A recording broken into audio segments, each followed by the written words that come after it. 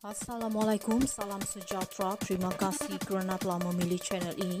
Jangan lupa tekan butang like, komen, subscribe dan share untuk Kuala Lumpur, Ahli Parlimen Sembrong, Dato' Sri Hishamuddin Husin menegur ke pimpinan AMNO yang menyindir dan sengaja berseluruh dengan mempelawak ahli di buang parti itu untuk hadir ke Perimpunan Agung AMNO PAU 2023. Beliau yang kini digantung keahlian menyifatkan tindakan sedemikian hanya menggambarkan mentaliti dan pemikiran semasa kepimpinan AMNO yang langsung tidak membantu usaha memulihkan kedudukan parti dalam memenangi hati ahli-ahli di akar umbi.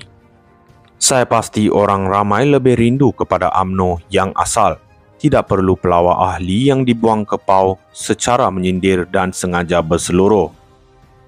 Ini hanya menggambarkan mentaliti dan pemikiran semasa kepimpinan AMNO tidak membantu langsung usaha memulihkan kedudukan parti dalam memenangi hati ahli-ahli akar umbi, katanya menerusi hantaran pada akuan Instagram miliknya hari ini.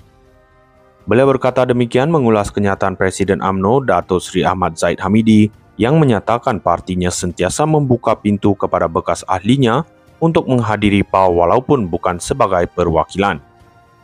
Ahmad Zaid dilaporkan berkata bekas ahli parti Melayu itu mungkin boleh menjadi pemerhati di luar Dewan ketika perhimpunan berkenaan berlangsung.